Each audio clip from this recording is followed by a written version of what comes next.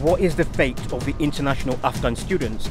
Now, a lot of them during the holidays, they remained here in Tajikistan, so supposedly uh, they would be able to continue their enrollment. But the question does remain, what about those who went to Afghanistan, got caught because of what's going on there, and now likely cannot make their way back? But first, let's check out the charming Khorog City Park. Come on. You'll love this park if you're a water lover. Just steer clear of the river. This is the same river we saw when we were on the M41 heading to Murghab. Now, the municipal authorities do warn you that when you come to the park, there is a fast flowing river to beware of. And it's good advice. There are so many beautiful rivers in Tajikistan, but if you're not careful, beauty can quite quickly turn to tragedy. I'm really liking Khorog, and up until last year, its big draw was its proximity to its famous neighbour. Afghanistan's only a bridge away, and, and it's true, it is only a bridge away, and yet it is ever so far now. It's a bridge I would have loved to have taken. A hundred years ago, the borderlands of Tajikistan and Afghanistan were one country, and up till last year, Khorog was the base to explore them all. It was so safe, but. Almost with a sense of irony, there is a bullet point here that says Afghan Badakhshan is the most secure province in Afghanistan.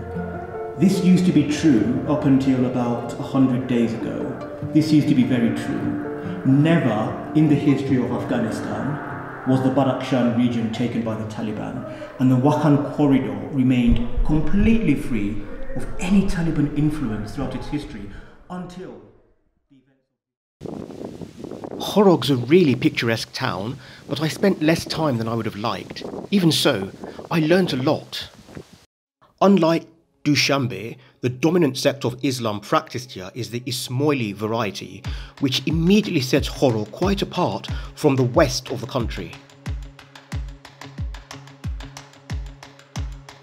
The Toki is another distinctive feature of Khorog all through Central Asia, especially in Tajikistan and Uzbekistan, and, and actually Turkmenistan, you do see um, hats like this, but the Pamiri ones are quite quite distinctive. They're colourful. They are perfectly rounded, whereas the others tend to be a bit more of a, of a rhombus or a square shape, and um, they're quite pretty. But unfortunately, the Pamiri seem to be built with smaller heads. By the way, I'm thinking of doing a feature just on men's hats. Here I am at Jurmiz's shop in Istanbul's Grand Bazaar, acquainting myself with the handsome Ottoman style caps. You know, one of the surprising things about Khorog is that it is host to the University of Central Asia and it really is a university for Central Asia because you get lots of international students and I met a few from Uzbekistan, from India, from Pakistan and even from Afghanistan and I envy the students their campus life. The alpine grounds are serene and sublime, and definitely worth a visit if you can wangle one.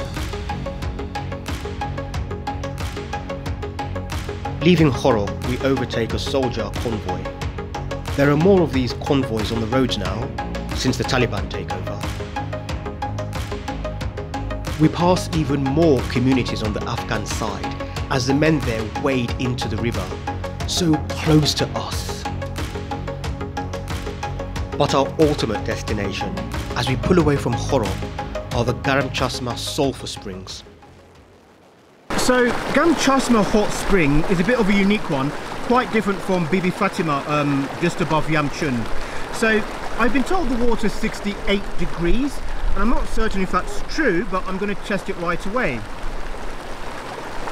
So I, I, it's pretty hot, so I think it could be 68 degrees, but it doesn't feel that much hotter than Bibi Fatima. And down into the Garam Chasma hot springs, where people go take a dip and um, I suppose believe that there's some benefit to these um, hot springs being infused with sulfur. Then we push on to our final destination of this gargantuan cross Tajikistan road trip.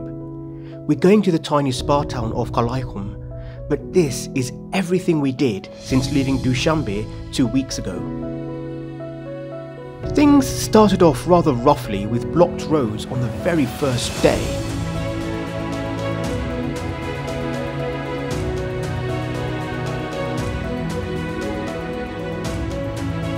But I cheered up when I caught my first glimpse of Afghanistan. I enjoyed going into the little communities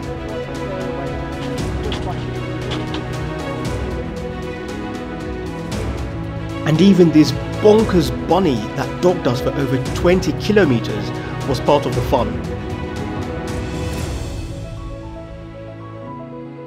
In Karakul, I experienced the weird scientific phenomenon of swimming in a dead lake.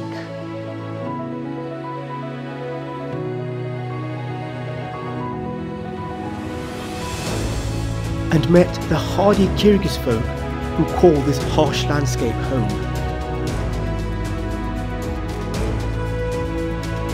In Bulunkul, I learnt why Cowder was so essential to their survival.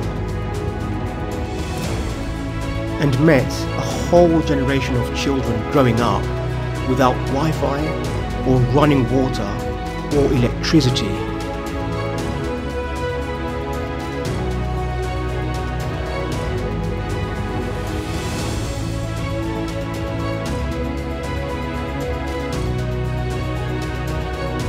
The Wakhi inspired me with their openness.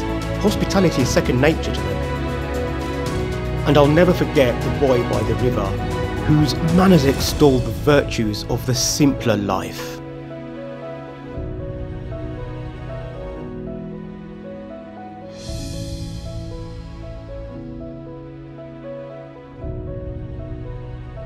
This is what we woke up to in Kalaykhum. We're still within sight of Afghanistan, and this place is delightful.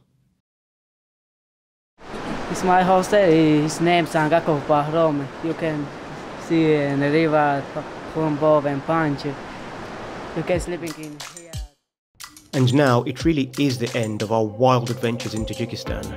It's bittersweet, but we've got one more encounter with the mysterious folk over the river in Afghanistan. Assalamu alaikum.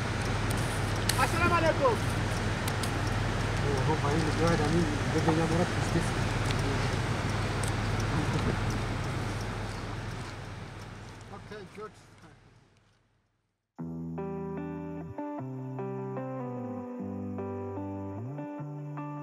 He was the last Afghan, the last we would see on this trip anyway. Our wild Pamir adventures have ended, and we pull further west, away from my fascination with Afghanistan, and back to the capital of Dushanbe, where it all began. Fear not, however, for our thrilling Fan Mountain Odyssey is just beginning. With one of the cleverest donkeys I ever met, I went further on foot than I have ever been before. Stick around to enjoy all that and more.